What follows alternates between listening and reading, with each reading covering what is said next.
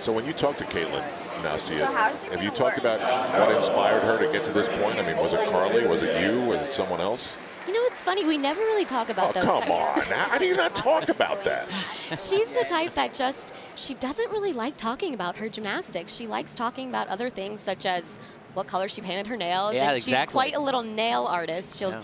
even at one during the London Olympic Games, she painted Olympic rings to support the Fierce Five. So very into it all. Here's Oleg Verniaiev. This is very tricky right here. And he is way off. I can't believe he was able to save that. The thing this kid has going for him is, per his size, he is strength to weight ratio. Very, very good.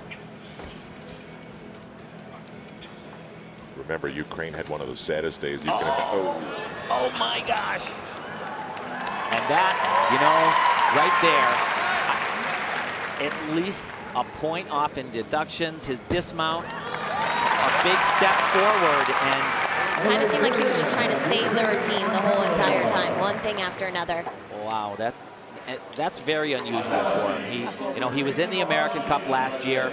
He had some mistakes, but you could see that this young man has had a great future, was tremendous in London, and really, I saw him in training here. I thought he was going to do much better. This, though, watch, he's going to go to one bar after this skill right here. This is called an underswing or a peach to one bar. Very, very difficult. Gets completely crooked. Look at his body. He's supposed to be totally turned this way and somehow is able to do this full spin out of it. That a, a great save. And then more trouble. This right here, just look, the legs are apart, the knees are bent. That step, that step, that step, that step. Every single one of these are deductions, at least a point off on that one element alone.